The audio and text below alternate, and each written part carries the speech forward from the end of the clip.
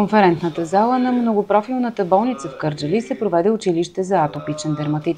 На него присъстваха едни от най-изтъкнатите специалисти в тази област – дерматолозите професор доктор Николай Цанков и доцент доктор Жана Казанджиева. А причината е може да се каже, че в последните години има доста сериозен ръст на атопичния дерматит.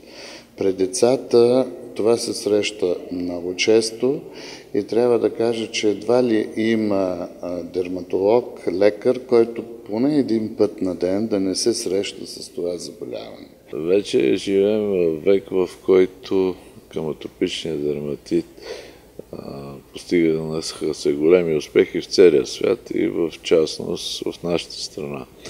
Но аз искам да ви кажа за една българска традиция, едно българско лечение.